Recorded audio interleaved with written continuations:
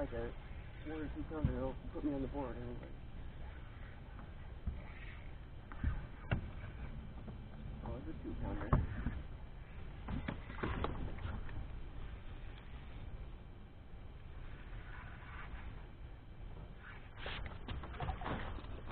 Oh no. Okay. Alright, now keep me in the game here. That's number four. This. Oh, shit. Okay. Here's a good lesson then. This one's bleeding bad. Look, right here, there's nothing I did. But you can see how that fish took that. I got the uh, solution here. Baby. Okay.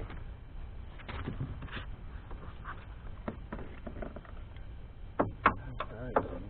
Shit, shit,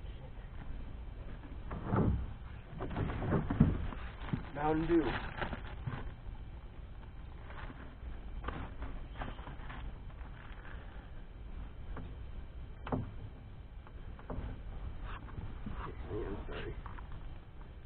take Mountain Dew.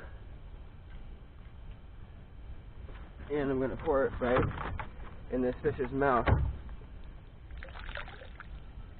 Okay.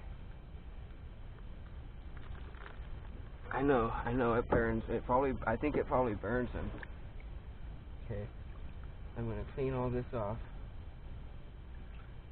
I want to see if that fish is still actively bleeding. That fish stopped bleeding. Okay? So this is a good trick to have is Mountain Dew.